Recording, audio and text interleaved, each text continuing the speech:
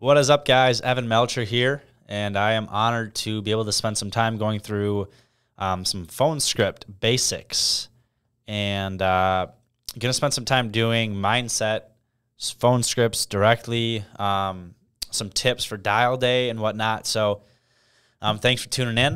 I'm going to start with the biggest thing that I've seen that affects agents the most as far as their success, and that is when they dial and how they protect their dial time. So I learned very early on 8 a.m. dial by 8 a.m. I was I'm ready at 7:30. I'm at the office at 7:30, or I'm on Zoom dial at 7:30, and I have my leads ready by 8 o'clock every single time.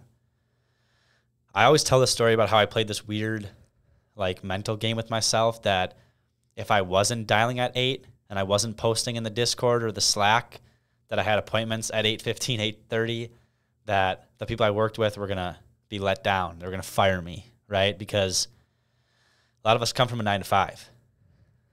If you're supposed to be in the office at 9, you get there at 10:30, you get fired. So why do we treat that why do we treat this any differently? I know we're independent, but if we want to be successful, let's stick to the basics. And that's the number one basic that I think is key to having success in this business. So I have my leads ready. I'm dialing by eight. My mindset's pretty simple. I'm not going to let anything get in the way until I have 15 appointments booked. I'm not going to go for a run. I'm not going to work out. I'm not going to, uh, not going to eat lunch until I, I honestly used to say I'm not going to eat lunch until I have eight appointments booked. Not going to go do the laundry. I'm not going to go. I mean, there's so many weird distract. I'm not to go get my oil changed. I'm going to dial. I'm not going to go to the chiropractor. I'm going to dial. I'm not to go to the dentist. I'm going to dial until I have 15 appointments. So what does that actually look like? How many phone calls you got to make? I don't know. Depends on your lead type. If I got 100 internet leads, I'm going to go through them three, four, five times, triple dialing them until I have 15 appointments. It's going to take me 400 dials, 600 dials, 800 dials. I don't know. I don't care. But nothing's going to get in the way. I always tell the story. Um, a lot of you know Alex Dykes, top producer. When we worked the same office together, and I'm throwing Alex under the bus here, but he would show up at 8.15, 8.30 sometimes. And he would have some leads that he was going to be, you know, running that I had. And uh, he would come into my office at 8.15 and I'd be sitting there dialing and I'd look up, get out of here. I'm dialing. Um, so he learned very quickly that he was going to start getting to the office before 8. And uh, that's just protecting your dial time. I'm not going to be calling the carriers during dial day. I'm going to do that while I'm out in the field in between appointments. Um, I'm just going to do whatever I can to protect my dial time. Let's get into uh, mindset, I guess, and then we'll get into scripts. So mindset with the dialing. If I have 100 leads, if I have 50 leads, somebody hangs up on me. I think just super simple. Um, you just have to expect that you're going to have a lot of disconnected numbers, people that tell you to, you know, leave them alone. They didn't fill anything out. That's really weird because I have your address and phone number down here. But if you didn't fill anything out, whatever. I'm going to move on to the next person. I'm going to try my best to help you, but we get enough leads so we just keep it moving. I'm not getting caught up on a disconnected number. Not getting caught up on somebody that didn't tell me, that told me they didn't fill out a form for insurance.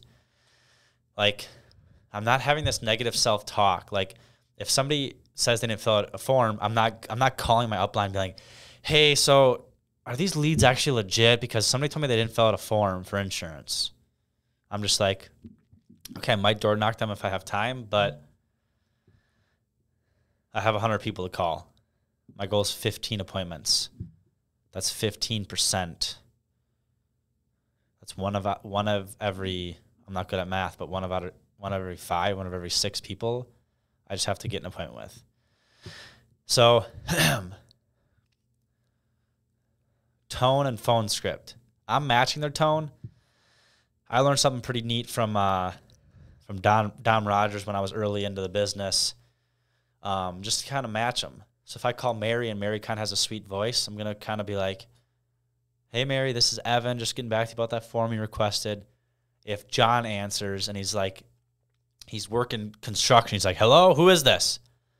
I'm like, hey, John, this is Evan. I'm actually just getting back to you about that form you filled out. I'm just matching them, right?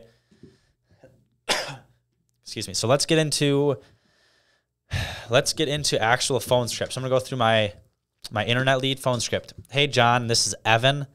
I'm actually just getting back in touch with you real quick, letting you know we got that request you put in online about the insurance program. You put down your date of birth as one two of 54. Is that correct? Yeah. What is this about? Yeah, this is just about that form you put in about the insurance. You put down your address is 123 Main Street. Is that address still correct? Yeah, it is. Okay, cool. So my job's super simple. I'm just the local guy that's required to get that information back out to you. Are you uh, are you working, retired, or on disability? You're working. Okay. So they have me dispatched out in your area tomorrow and Saturday. I just got to get the information out to you. It takes about 10 to 15 minutes. What time do you typically get home from work? Finding the schedule, giving them a couple time options. I'm just booking the appointment. That's it's as simple as that. Final expense, mortgage protection. Hey, John, this is Evan. I'm actually just getting back in touch with you, just with the benefits office here in Brown County. We got that uh, that form you put in that you sent in the mail about the final expense programs. I'm just the guy. I'm just the local guy assigned to your case. Uh, hey, John, this is Evan. I'm just actually getting back in touch with you real quick with the mortgage protection program for Brown County. Um, just letting you know we got that that form you put in back in the mail about the mortgage protection. Uh, you put down age 60. Is that correct? Cool. I'm just moving. There are some some uh, key phrases in there I think that I use are important. I'm actually just getting back in touch with you real quick. Um, I'm verifying information they put on there right away. Just refreshing that they filled something out, and I'm um, just booking the appointments. That's the goal book the appointment. So I think that's all I have for phone script basics. Um, I appreciate you guys. Hopefully you learned something from it, and um, let's go make it happen. Biggest thing though with the phone script, I'll say, none of this matters until you hit the phones. Call some people, blow their phones up, triple dial the leads. If they're sending you to voicemail, I know they're on their phone. I'm going to call them four, five, six, seven, eight times until they answer the phone. Talk to you guys soon. Thanks.